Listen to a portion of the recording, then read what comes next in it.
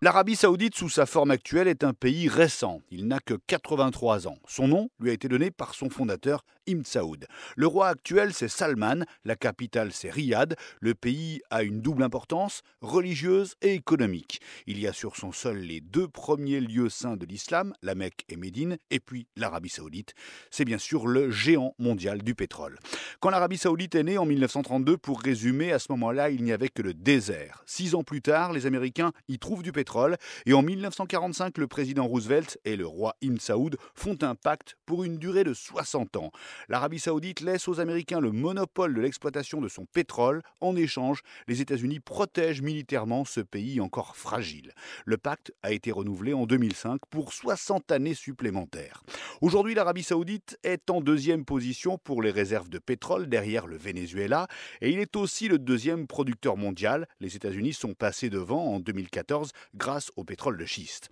L'argent du pétrole a fait la fortune de la famille royale qui est immensément riche et présente dans tous les secteurs de l'économie. La famille est très nombreuse, elle compterait plusieurs dizaines de milliers de membres. Quand elle se déplace, c'est en masse. À Valoris l'été dernier, par exemple, quand le roi Salman est venu en vacances, c'était avec une suite de 1000 personnes environ.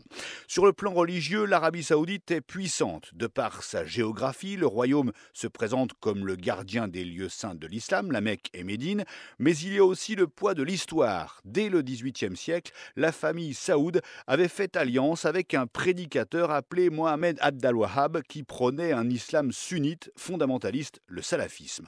L'Arabie saoudite est particulièrement conservatrice sur le plan religieux, c'est la charia qui s'applique, les femmes ne peuvent pas conduire, il y a des amputations, des lapidations, des décapitations. Un jeune homme chiite a récemment été condamné à être pendu et crucifié car il avait manifesté contre le régime alors qu'il n'avait que 17 ans.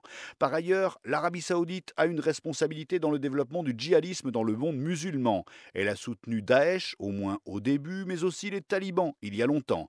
Oussama Ben Laden, le fondateur d'Al-Qaïda, était saoudien. Et c'est le paradoxe de l'Arabie saoudite, allié des Occidentaux, qui a soutenu les qui ont attaqué l'Occident.